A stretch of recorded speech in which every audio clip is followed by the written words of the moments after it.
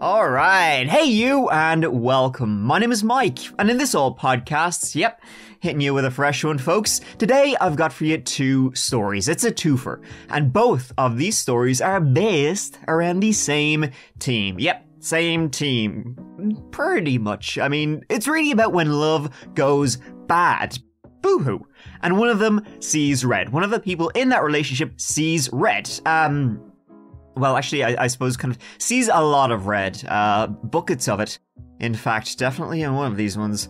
In both of these stories, the perp, the scumbag, to quote cop shows, is the lady in the relationship. And in both, accusations were flying. They're flying, lads, left, right, and center about.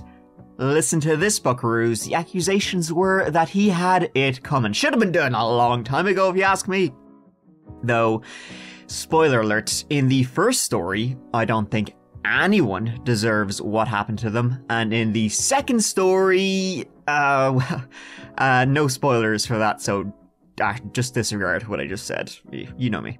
Before we get into it, my friends, please, if you could subscribe, follow, leave a review, leave a rating for this old podcast wherever you get yeah, podcasts. I promise if you do, if it's a lovely one, I will crawl out of your speaker, I will crawl out of your earphones to give you a nice little pat on your head. Or I suppose I can just give you a verbal thank you if you'd prefer. Thank you. Now, let's give it a go.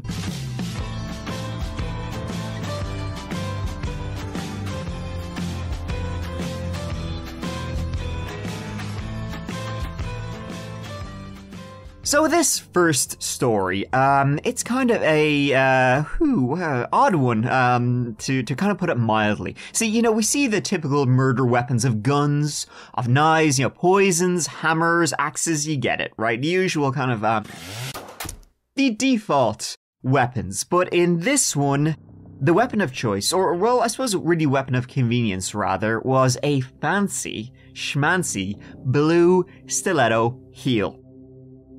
Yes, that's correct. A stiletto heel. You know, I've always said every person around you wearing high heels, they may as well be strapping an AR 15. And once again, I feel vindicated. A typical, you know, female murderer, it's, it's different from a male murderer. They tend to have like patterns. Um, the female murderers, they typically are related or know their victims, and they usually kill in self defense or, you know, maybe due to mental illness. Whereas I, you know, a lot of times men are just more like, um, you know, the male killers are just, you know, ah, sure, fuck it. They're also, they're more likely to use a weapon other than a gun. And so in this one, the shoe fit. So Our Lady in this old case is one Ana Trujillo. Born on February 25th, 1969, nice, in Mexico, she was a mother of two, a divorcee, and according to many, promiscuous often jumping from man to man. Very nice. After the failure of her second marriage, she left her children with their stepfather and she happily moved on to, you know, the cougar single lifestyle. You know, fuck yeah, dude. She was described as flirty, you know, she loved to party. And the more attention from men, the better. A very, um, a very healthy mindset. If by very healthy mindset you mean midlife crisis, if you ask me. She had moved to Houston, Texas in 2009, where she continued her fishing of men, where they would happily pay for her rent and for, um, you know, other things. Winkety wink. Uh, by that I mean, you know, winkety wink means her time and nothing else. Lawmen. She did, however, previously work as an executive for Coca Cola, and in more recent years, which is the time of our story, she worked as a masseuse but ain't no happy ending in our story, I'm afraid. Anna, 45 at the time, was living in an upscale high rise apartment in 2013 with another man when she ran into our victim. The next boy toy, you know, she was going through them like they were Skittles, and that was Dr. Alf Stefan Anderson, who was 59 years of age. Anderson was a professor with the University of Houston's Biology and Biochemistry Department, now, Sparks must have flown when, you know, she accepted an offer to go out for a drink the same night they bumped into each other. And then just, just weeks later, she moved into his upscale high rise on the 18th floor. So she dumped the guy she had been living with and quite literally moved up in the world. Their romance now, uh, spoiler alert, it wouldn't, it wouldn't survive long when, just a couple of months later, in June 2013, Anna would stab Stefan 25 times in the face. Yikes, that'll uh, leave a mark. With her 5 inch stiletto heels. A gift from Anderson. She would claim, you know, self defense, whereas anybody with half a brain would say it's clearly murder. Alf Stefan Anderson was born May 11, 1959, in Sweden. He was one of three children, being the only boy. He would move to Texas in the 1980s to pursue a career in medical research, and eventually went on to his role in the 1990s at the University of Houston. During his, his, you know, medical research, he was able to contribute to developing treatments for prostate cancer and male pattern baldness with the pharmaceutical company Merck. Now, Anderson, uh, he, he struggled with alcoholism, but friends say, you know, he had battled it, he had taken it into the ring, he had bait the shite out of it, and he had won. At the time of his death, he was grand. It was a non-issue. He would still like the occasional drink, but he had he had self-control. He was able to to manage it. He he could go out for you know a glass of wine now and then, and he was able to stop himself after a couple. His obituary stated that not only was he a highly intelligent man, I mean, goddamn, he worked at the University of Houston, but he was selfless, uh, giving, and he had a great sense of humor. I guess that's why he ended up with Anna. He also had been previously married to a Jackie Swift, divorcing in 1995 after just five years of marriage. Now, Stefan, he lived in the elite Park Lane apartments in the Museum District in Houston. It provided personal, personal concierge services, valet, a park on the third floor with a tennis court, pool with private cabanas, and a gym. Can I let me the fuck in? Seriously. In the early morning hours of June 9, 2013, a 911 call was placed by our dear, dear Anna Trujillo. A lot, uh, you know, a lot of what she said and her emotions in that call seemed a bit put on, with her end, you know, mostly coming out as uh, gibberish, I guess you could say. Something about he attacked her and he was almost about to die. Uh, well, you need medical, police, or fire.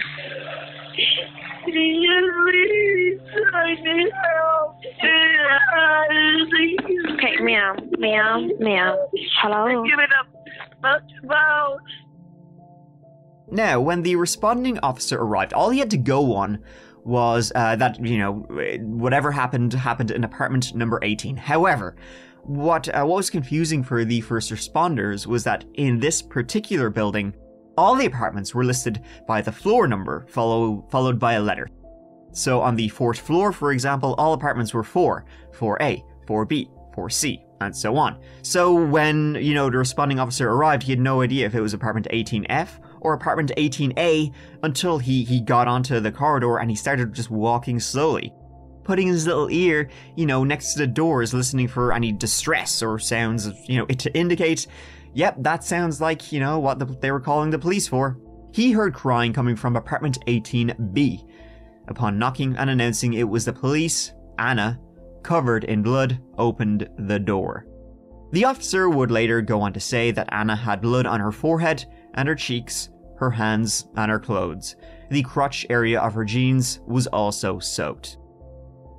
Anna said he attacked her and she acted in self in self-defense. When asked what weapon she had used, she said she had grabbed the closest thing to her in the heat of the moment her five and a half inch stiletto heel. That's you may as well just grab a friggin' uh, butcher knife. When checking Anderson for any signs of life, he noticed the shoe lying nearby, covered in blood and matted with hair. Now, Anna mentioned that she had tried to revive him once she realized, um, I think he might be dead. I probably should have tried to maybe revive him earlier. However, uh, it kind of appeared that that wasn't the case. I mean, she used the stiletto heel on his face, yet her mouth and the you know the area around her mouth, uh, it should have been covered with blood. It wasn't. Also at the scene was a tarot book with the death card open. Oh shit, lads. Testimony would show that Anna, she was interested in the occult, in witchcraft, in black magic. To what degree is unknown, but my folks, you know what that means. Satanic black magic. Sick shit. Stiletto's haunted. Once taken to the station for questioning, Anna's story of events and even, you know, the way she described Anderson's personality, um, well, the way she described them were very, very different to many who knew them, family and friends. According to Anna, she and Stefan went out that night, you know, together to celebrate their recent engagement, after being together literally a handful of months. This crazy bitch had enough of the masseussing and was ready to settle down. Again, till something better came along. When they got home, fueled by alcohol and jealousy, he attacked her. Dr. Dr. Stefan became Dr. Evil Stefan. Now, the actual cause of the fight isn't clear. One version of events stated that Stefan saw Anna's suitcases by the door and he immediately, just like boom, assumed she was leaving him. Now, she was packed up to travel to Waco to visit her daughters, but he attacked saying, you know, she was never gonna leave him. I'm not letting you out of here alive. Other stories said, you know, he attacked her because Anna was too flirtatious at the bar. She was like showing a little bit of nipple to your patrons. I don't know if she was. He threw her against the wall, they wrestled, and they toppled over a couch. Now, Anna said she, she ripped out handfuls of his hair. There was no blood in those clumps of hair, confirming, you know, that she did rip out his hair before the shoe got involved. Pushed me, he hit me against the wall, and I cried. I begged him. I, I tried everything. And he took me, and he slammed me Anna then said Stefan was pulling at her leg as she was trying to get away, and then, using whatever she had, she grabbed her shoe and swung it behind her, hitting Stefan Anderson, causing him to lose balance. She then straddled on top of him and continued to stab him 25 times. 25 times. Now, just think about that. Just, um, act out stabbing someone where you were and count as you're doing it. 25, it takes a lot of effort. Like, it's kind of exhausting. You think by, like, the 10th time, it's to be like, you know, I, th- I think he's dead, my dear, you know? She then later would have the nerve to testify that she didn't realize she hurt him so badly. You know, I, I, I lost count. Did I stab him three times or 23 times? Fuck it, let's make sure. She didn't know what she had done until she reached out and felt the blood on him. Felt the blood on him as opposed to just looking at him and seeing you putting your stiletto through his eyeballs. I don't know. The fact that he probably wasn't moving could be an indicator, um, or just the indicator of you stabbing him 25 times in the face. She clearly wasn't the sharpest tool in the shed. But the stiletto is. If she had truly been fighting for her life, she would have just ran away as soon as she could. Like, what's the number of stabbing somebody that it stops being self defense and starts being murder? and there were defensive wounds on his hands and his wrists. Now, her statements with the police, they were often rambling, off topic, and many times she would just dance around the questions they had been asking her, and she never showed any tears or any remorse over what she had done. I was afraid if I got off of him, he was gonna, I know, nah, I wasn't, I know, he was gonna get up and, and he, you know, he was gonna hurt me. So I was having him and I was like, please, step Stefan, Stefan, you know, and was, ah, ah, was growling like, you know, ah, ah. When she was asked why she continued to stab him when he was clearly not fighting back or not moving at all, she would say, he wouldn't let go of my leg. Okay, so 25 times to the eye. Gotcha. Officers also reported that Anna smelled strongly of alcohol, but for for whatever reason, her blood level it, it was never tested. She was arrested directly after giving her statement. Now, her version of events was, um, according to many, possibly including yourselves, was a bunch of mother heckin' BS. Excuse my language. She was clinging to to the victim cycle of abuse narrative, um, but everybody else would say, "Hmm, interesting story. I don't think it's true. One old friend, James, he actually had two, two violent run ins with Anna. Now, she had previously stayed with James, whose place was right across the street from Stefan's. James, he lived with his girlfriend Chandra and her young daughter, and Anna had a physical altercation with James's girlfriend Chandra one night. Now, according to Anna, Chandra acted first by throwing Anna down, and then she threw all her things away. No charges were placed for this incident, but that's not all. Another time, Anna returned to James's place drunk after having an argument with Stefan. According to James, they were they were sitting in his room and he thought she was drunk or something as she was mumbling to herself, giggling, acting very peculiar.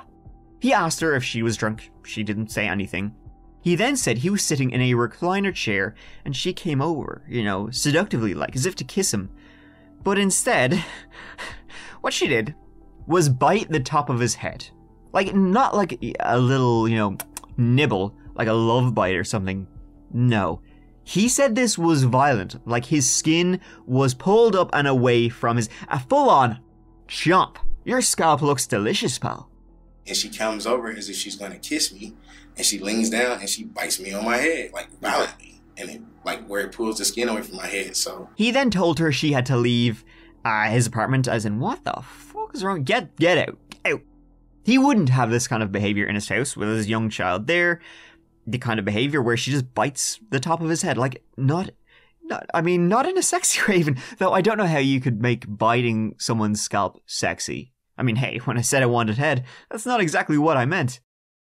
So, with nowhere else to go, she ran back to Stefan, and this was just days before his murder.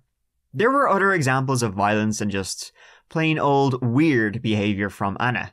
One of Stefan's friends, who double dated with the couple often, recounted one night that Anna and Stefan had a disagreement at a local taco eatery they frequented, they went to often. During that disagreement, Anna bit Stefan on his face. She was a biter. The staff at the taco place even said, yeah, we had to give him ice to ice the fucking chunk that was taken out of him.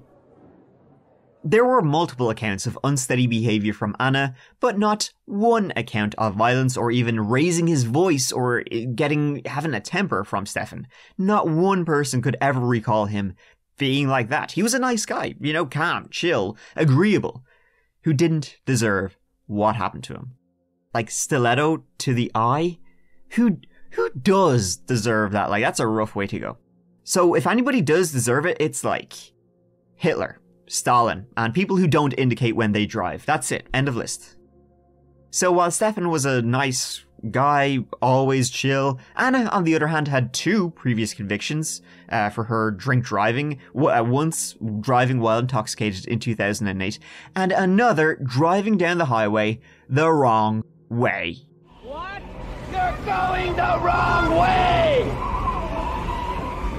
He says we're going the wrong way. Oh, he's drunk. How would he know where we're going? In 2010, she was sentenced to six months in jail when police found her intoxicated and sleeping in her car in a parking lot. So, the night of the murder, remember, Anna and Stefan had gone out and had a few drinks, and they came back to the apartment uh, by a taxi. A taxi driver brought them back home. The police questioned that taxi driver, who would have been, you know, one of the last people to, to see them together. Everybody's got an opinion over here. The taxi driver that night had her husband riding along with her as she felt safer, do, you know, doing the late night shifts with her husband beside her. Fair. Well, according to the couple, the taxi driver and her husband, Anna was yelling and insulting Stefan the whole way home. And then telling the taxi driver that she's going the wrong way, and he yelled, roaring at her, calling her all sorts of shite. Then she got mad and yelled at Stefan for defending the taxi driver saying it. Stefan was just saying you know, she's just doing her job. Fucking Anna was going red in the face. The driver, during her statement with police, mentioned that Stefan was polite, very passive, a quiet guy. There was never any hint of anger from him, even when Anna was yelling in his face. Everybody's story was straight except Anna's. And when the taxi arrived at Stefan's apartment, the taxi driver, concerned from the way Anna was, was being with him, literally asked him, Are you gonna be okay? as Stefan got out of the taxi. He assured her he'd be fine, be grand. That was his last words to anybody except Anna, and he would most certainly not be fine. And if that wasn't enough, even the front concierge at Stefan's apartment had run ins with Anna. Uh, one front desk uh, employee said Anna al- always seemed like she was high, she was drunk, she was on some. They they said Anna and Stefan do not make sense. They didn't mesh. And another had warned Stefan about Anna. They had warned him, saying, "Yeah, you got to watch out for her." Um, when in the middle of the night, Anna cut the water line to the fridge because it was quote making a noise. Um, no shit, Sherlock. What happens when you're going to cut the water line to the fridge with water still going into the apartment? Water will go everywhere. And they had to make an incident report.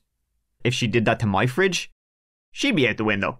So they filed a report, you know, with the people who worked at the apartment building, and in the report it's written the employees warned Stefan Anderson about Anna, saying, like, she's a head case if she's doing this shit. But Stefan didn't listen. You never think it will happen to you till it does. So she was an insane person, like severely mentally ill, but she also just sucked. With Anderson for his money, no diggity, no doubt. Anger issues, and I guess one night, like an abusive spouse, she ended him. Anna went on trial in 2014. At the end of the two week trial, the jury came back with a verdict after just four hours guilty of murder. Although her defense was that she was you know, traumatized by years of abuse from previous partners, um, it worked against her that she had no proof or police reports of those years of abuse from previous partners. The jury also dismissed the idea that Anna acted in the heat of the moment, saying uh, 25 stabs to the face. That's a bit more than the heat of the moment. You know, that's that's you're gone from the heat of the moment to the cool of the moment, and you're still burying your stiletto into his face. She also went on the stand for a, a portion of the trial, reenacting the gruesome murder in front of Stefan's family and friends. That was probably a very poor idea um, on her part, obviously. Hey, this is how I killed him. Let me show you again. Nevertheless, she was sentenced to life in prison. She will be eligible for parole at the age of 75. Who knows? Maybe, you know, when she gets out, she can pick up the, the man eating lifestyle as a silver dame, you know, a gilf. Good luck to her if she does. Uh, maybe she'll beat her next partner to death with her Zimmer frame. Jackie Swift, Anderson's ex wife, said it best at the sentencing hearing that woman is pure evil. Yeah, uh, sounds about right. The cult angle, by the way, I think she just had an interest in it and, you know, just was fascinated by it. As, as I think a lot of people are, including me. Uh, but maybe, you know, when the when she was going through her tarot cards and the death card came up, she looked at Stefan and said, you know, she did the old Call an ambulance! But not for me! what the card says goes. Hold on to your stilettos, folks, for the next story is even more batshit bananas.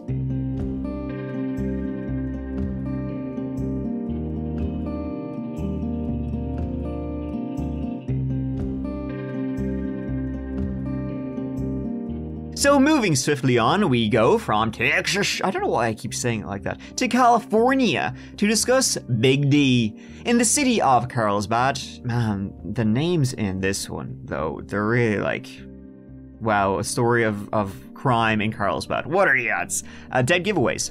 There, Diana and Greg were going through some turbulent times, as we all do. And so, Diana, Big D, decided, um, you know, she she was she kind of thought to herself in her own noodle, and she she was like, I think of I get I can think of a quicker and easier way to get past this you know turbulent time, if only I knew the right guy. She met him. Now, um, give me a second, my friends. Let me just uh click on this old video. I'm Diana Lovejoy, and quick meals are my specialty. I know that you don't have all day. We've got malice to feed. Welcome to my kitchen, where I really like to cook, but I'm often short on time, so speed is the hook. I'll show you how to make a meal in almost no time flat. Takes less than half an hour, and you'll have it down pat. The recipes from Kraft, who makes fantastic tasty stuff, that's partially prepared, so dinner's not too tough. If you thought this enthusiastic and incredibly natural, uh, smooth as silk presenter was headed for the small screen, you would be right, just not in the way that she was hoping. And that is our dear Diana. The city of Carlsbad lies to the north of the city of San Diego in Southern California. It's a coastal city, population roughly 100,000. And to be among those 100,000, you'd need to be earning a lot more than that per year. You'd need to be a finger guns rich bitch. It's one of the most expensive, um, sorry, affluent quota- quotation marks cities in America. If you can't live there, you're just not good enough. Sorry. I don't, okay, I actually don't know why I'm speaking so negatively about it. I mean, it's probably it's a lovely city, and I'm sure the people there are so lovely too. I don't know why I'm just defaulting into it sucks. Sorry, Carl's Badians, Carl's bad lads. Carl's bad lads, actually, that's pretty good. It's a beautiful city. Carl's good, and there you got your beaches, your babes, your Legoland, your golf. What more do you want than that? And so, the city of Carlsbad is where we meet this human, the main character in our story, and her name is Diana Lovejoy. And she really loved joy, but more than that, she loved hate. Hate boner Diana, I like to call her. Passionate about food. My trick is fresh garlic pressed and ginger thinly sliced, sauteed with oil for a minute. Clearly. But not only that, uh, thank God, because I would not trust her with a toaster. She also loved fitness, she loved writing, she loved music, she loved it all. Diana was born in 1975, a native Californian. After attending Mountain View High School, she went on to the University of California, San Diego, graduating with a BA, BA in Literature, Music, Psychology, and Le Français, mon ami. Her career would be mainly centered on technical writing, um, you know, engineering, documentation, data protection, installation guides. You know, when you buy pretty much anything, uh, those forms you get, uh, the forms that you get that you never read have to be written by someone, and that someone was Diana. So, Diana, thank you for your exceptional work on some bullshit I'm never gonna read ever and trout just immediately. She started out uh, at Nokia, and then she went on to work for a number of digital companies before landing at Salesforce in 2014 as a senior technical writer, where she would, quote, welcome the opportunity to make your documentation exceptionally effective. Yeah, great stuff. Thanks, Dana. So, technical writing, it paid the bills, but it was not, no, no, no, her passion. I mean, I know, technical documents, lads. It's so, it's interesting stuff. But no, her real passion, fitness. That's when she wasn't making shitty cooking YouTube videos. She would, in 2008, become a personal trainer and triathlon coach. She would also write for the Women's Triathlon Organization. Now, to quote Diana herself, she, you know, what, what she was all about was balancing the cerebral with the physical is a lifestyle for me. Now, I don't know her at all, but that really um, sounds like something she would say. My god. Balance this, pal. I think anybody who would write that is just so full of shit. So, during these um, exciting times for Big D, that is when she met Greg Mulvihill, who worked in the tech industry. He was a, a software engineer. They met on a dating site in 2005 and seemed like a great match from the get go. They both worked in the tech industry, they both loved fitness and the outdoors, and they met at an age when you're you're kind of looking to start settling down, maybe start a family. In August 2007, they married, and that is when they moved to Carlsbad together, buying buying a home there. This was followed 5 years later by the birth of their first child. Now, this came with great difficulty for Diana. She had she had had eight eight miscarriages before then. So when they had that one kid, it was you know their everything. However, when the child was two years old, that is when the marriage started to decay. That's my decay noise. See, Greg, he, he lost his job, and Diana, she became the sole winner of bread. But she herself had her own um, her own physical issues. She thought she may have fibromyalgia, which can be quite painful. Essentially, it's just horrendous pain all over your body, a lot of times just for no reason, and it's it can be very hard. It can be exhausting and very hard to treat. Um, it's also very hard to diagnose, so that can be extremely frustrating. You know, when you're trying to find out why am I in constant agony and no one knows why, and therefore no one can tell me what to do. And she thought uh, her her young son might have it too. So she was, you know, it was this was a, a turbulent time, as I said at the top. In 2014, Diana and Greg, after going through marriage counseling, they separated. Though they, they remained married, um, they just didn't live together and they, they co parented their, their son.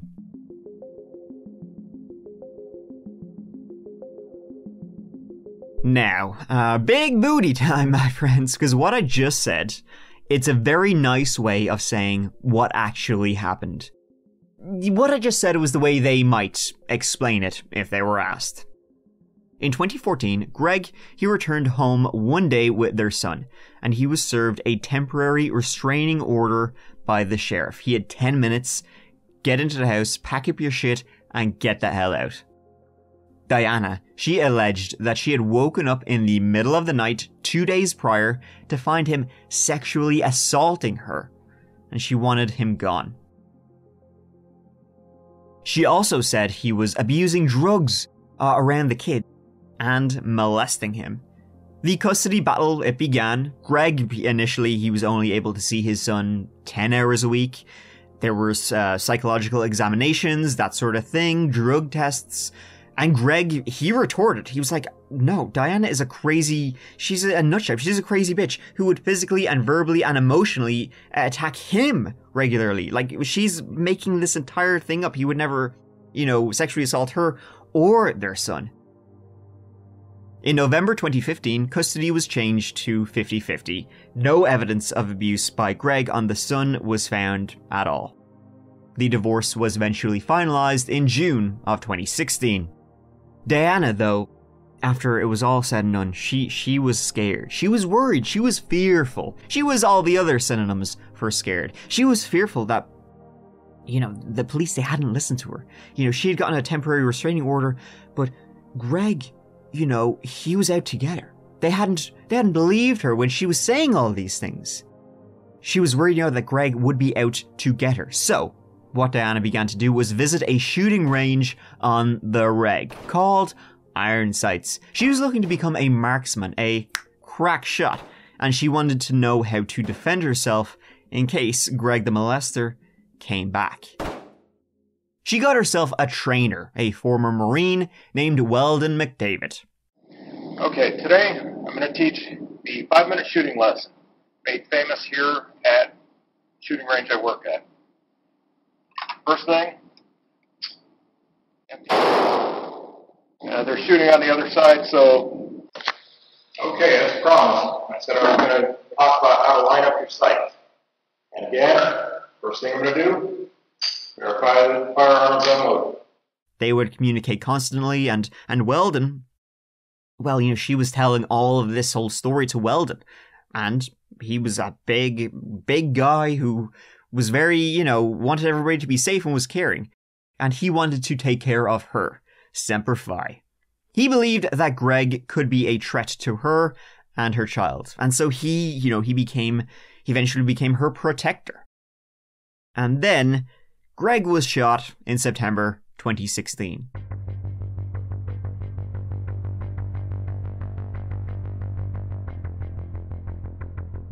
On the 1st of September, on a dark and moonless night, this 911 call came in to dispatchers.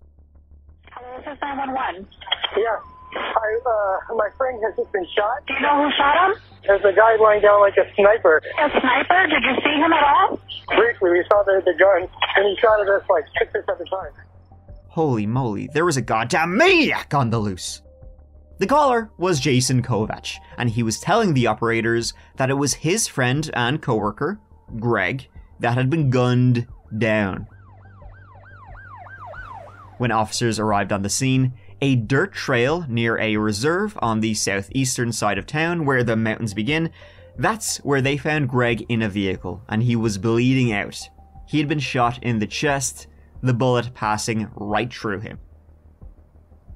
He was rushed to the nearest hospital, and armed police then descended on the dirt trail just off Avenida Soledad. You know, they were walking through this brush, but they didn't find the guy though. This this uh, this sniper who had shot Greg. He had escaped into the darkness that night. So yeah, wow, what are, what's going on? A Weird situation, right, guys? And I mean, I have okay, I haven't even gotten to the weird part yet. Just trust me. So what was Greg and this Jason guy doing out there that night in that remote area? Well, I hear you barking, big dog. Let me tell you. See, Greg had already rang 911 earlier that same night. He'd called saying he needed their help. See, a mysterious person, again, earlier that night, had called Greg, someone claiming to be a private investigator, telling Greg he had been hired by Diana. This private eye told Greg he had documents proving he had been abusing his son, documents that Diana would use against him to get full custody of their kid and maybe even some time behind bars for old Greggy. Now, Greg, he was obviously like, um, what the shit? I haven't been touching my son or her or anybody at all. What are you on about? The PI then said, I'll call you back. He did call back, this time saying he had left the documents near Greg's house in Carlsbad, taped to a power pole just off a dirt path on Avenida Soledad, in that reserve. So after getting these calls from this PI, Greg called the cops and he was like, okay, somebody is phoning me saying they have proof of things I didn't do. What should I do? The dispatcher was um uh, less than helpful, just being like, oh, fuck, I don't know. Do what you want to do. I don't give a shit. So Greg then called Jason and asked him to go to go with him. You know, Jason lived in the same building and they worked together. So, at about 11 p.m., armed with a flashlight, Greg and Jason started plodding down that dark trail. And as they approached the pole this mysterious caller mentioned, Greg, he saw something at the base of this pole. It looked like some rags at the base of the pole. But there was nothing taped to the pole, which is what the guy said he was going to do. So, so starting to feel hinky, suspicious. Like this was either a prank caller or some kind of setup. They they didn't go too close to it. They kept their distance and were looking around in the dark of the night, checking their surroundings. Then, further beyond the pole, he saw, in the darkness lit only by a flashlight, clothing. And then a barrel. Someone was hiding in the bushes, pointing a rifle right at him. They opened fire.